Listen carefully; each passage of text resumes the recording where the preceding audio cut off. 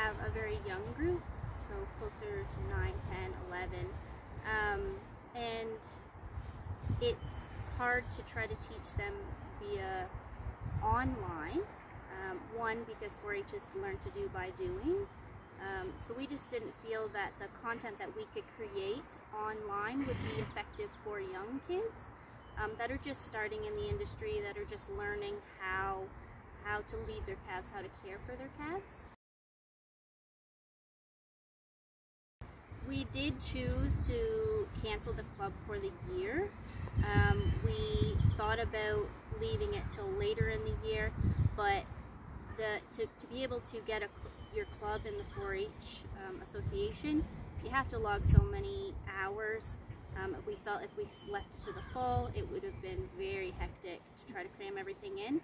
A lot of fairs, a lot of shows are canceled.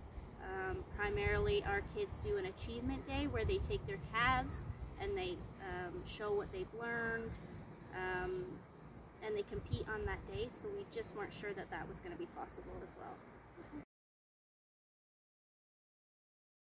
What I love about our community is that through the 4-H, we are able to bring farm kids and non-farm kids alike into groups like this for the for the livestock and to teach them um, a little bit more on how animals are cared for.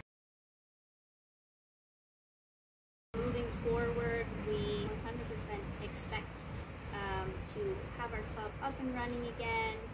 Um, we invite all kids that are interested in, in the dairy club to get a hold of us and, and learn about